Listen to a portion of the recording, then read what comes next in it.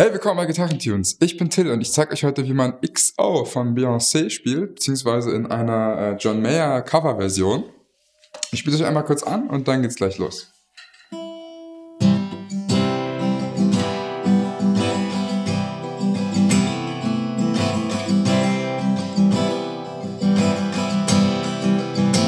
Your love is bright as ever. The shadow. Maybe kiss me before they turn the lights out.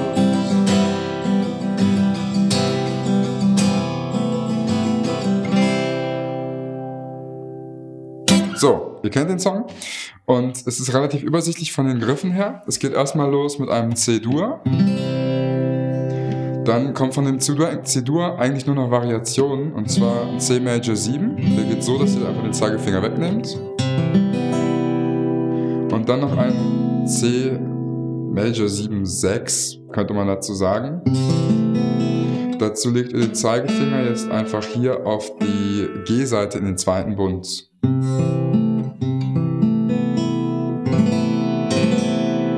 So allein ein bisschen schief, aber im Kontext kommt er gut. Und dann kommt ein, äh, als einziger anderer Akkord in der Verse kommt dann noch ein F. Den müsst ihr jetzt aber so greifen, dass ihr es mit dem Daumenumgriff macht. Das heißt, ihr greift mit dem Daumen hier die tiefe E-Seite im ersten Bund, dann mit dem Ringfinger die B-Seite im dritten, mit dem Mittelfinger die G-Seite im zweiten und dem Zeigefinger die B-Seite im ersten Bund. D, G und B-Seite. So habe ich, glaube ich, gesagt. Und die hohe E-Seite spielt ihr nicht mit. Das heißt, ihr dämpft ihr am besten mit dem Zeigefinger irgendwie ab, indem ihr die so ein bisschen schräg legt. Die A-Seite natürlich auch. Die müsst ihr dann gucken, dass ihr die entweder mit dem Daumen oder mit dem Ringfinger hier abdämpft.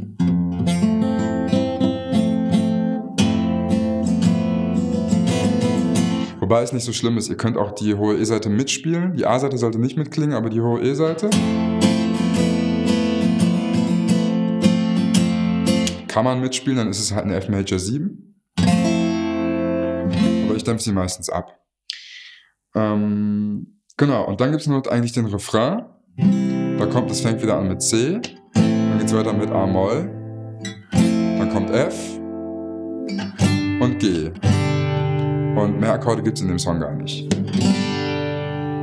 So, ähm, was den Ablauf angeht, machen wir jetzt einfach erstmal weiter mit dem, mit dem Strumming-Pattern.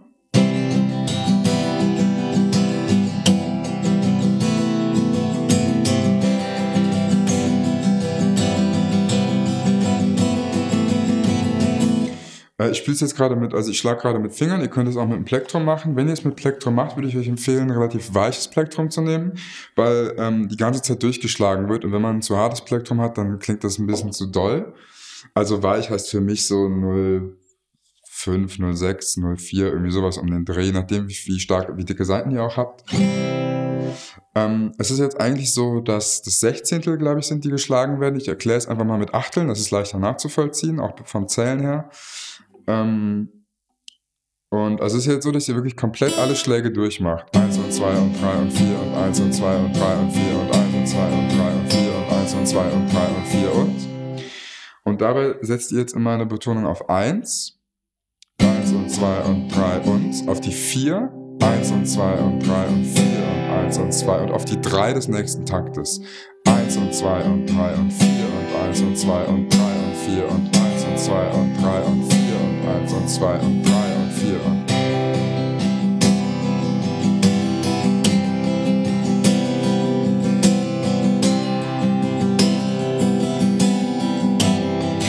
Und dann ist es so, dass immer auf die 4 des ersten Taktes der Akkordwechsel stattfindet, beziehungsweise Akkordwechsel ähm, auf die 4 des ersten Taktes wechselt man dann von C-Dur auf C Major 7.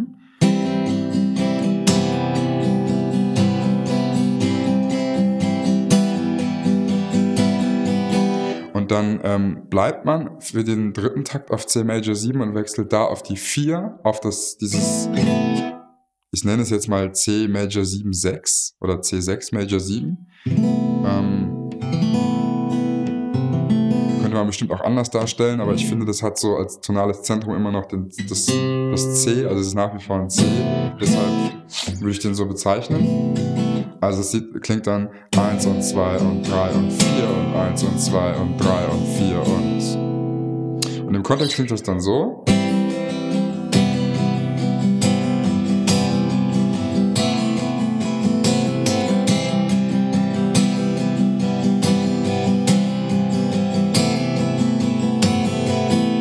Das wiederholt sich dann, wie ich es gerade gespielt habe. Dann kommt F. Und da macht ihr jetzt, also ihr sollt es deshalb als Umgriff greifen mit dem Daumen, weil ihr dann hier noch den Zeigefinger wegnehmen müsst eigentlich. Das ist dann ein so ein Kreuz 11 Akkord.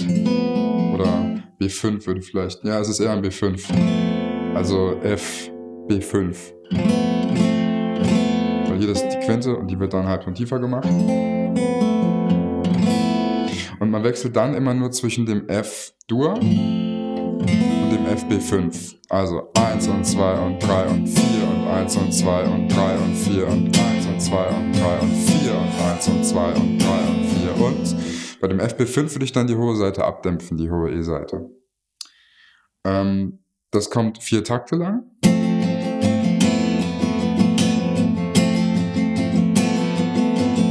Wieder auf C.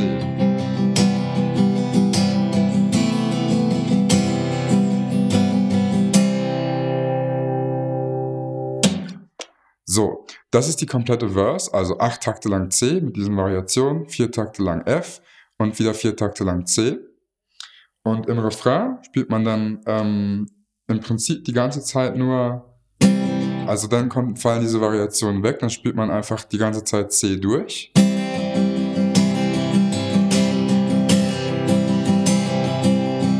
Kommt vier Takte lang A-Moll.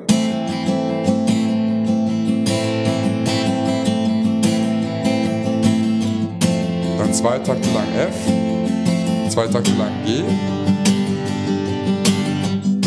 und dann wieder C vier Takte lang mit den Variationen. In the darkest night Irgendwas mit Crowd, ich kenne den Text leider nicht. Ähm, genau, also vier Takte C, vier Takte A-Moll, zwei Takte F, zwei Takte G und dann nochmal vier Takte lang C mit diesen Variationen oder auch, man kann ja da auch weglassen, je nachdem, wie man möchte. Und ähm, das kommt auch bei diesem letzten Teil, diese, äh, wo, sie, wo, wo er oder sie dann singt, ähm, I love you, love XO und diese, ich weiß nicht, B-Teil, Middle Eight oder äh, letzte Hook, ich weiß nicht genau, wie man das bezeichnen soll, aber da kommen auch wieder dieselben Akkorde wie im, wie im Chorus einfach vor. Und ja, hey, das ist schon der ganze Song.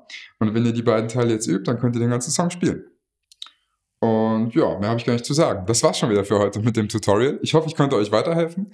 Und wenn ihr Bock habt auf noch mehr Song-Tutorials oder Tutorials zum Thema Gitarre, dann besucht einfach meinen Channel, lasst mir ein Abo da, wenn es euch gefällt. Äh, schreibt mir immer auch gerne Kommentare, wenn ihr Wünsche oder Anregungen habt. Und geht auf meine Homepage www.gitarrentwins.de und dann bis nächstes Mal. Ciao.